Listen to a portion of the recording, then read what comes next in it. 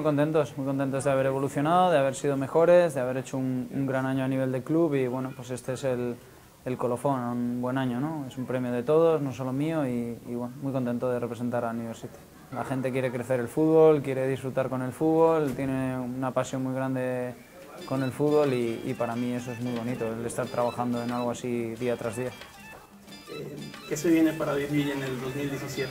Bueno, pues esperamos hacer un año bueno, ahora toca descansar, empezar a, en enero a, entrenar más fuerte que nunca y ojalá, ojalá podamos hacer todos un gran año.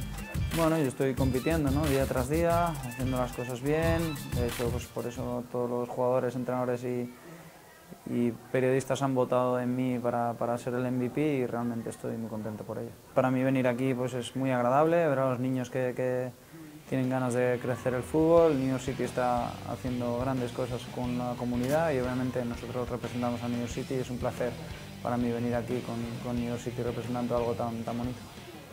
Eh, habla un poco de Frank Lampard, ¿lo vas a extrañar? Sí, seguro, es un gran jugador, una gran persona y, y seguro que lo echaremos de menos. ¿no? Eh, ha sido historia de, de, nuestro club y darle las gracias por todo. ¿David Villa se ve jugando Rusia?